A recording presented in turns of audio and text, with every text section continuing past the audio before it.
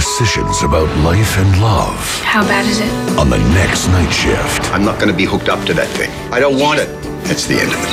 Will Robin go against her father's wishes to save his life? If I say do it, he might never forgive me. An all new General Hospital night shift.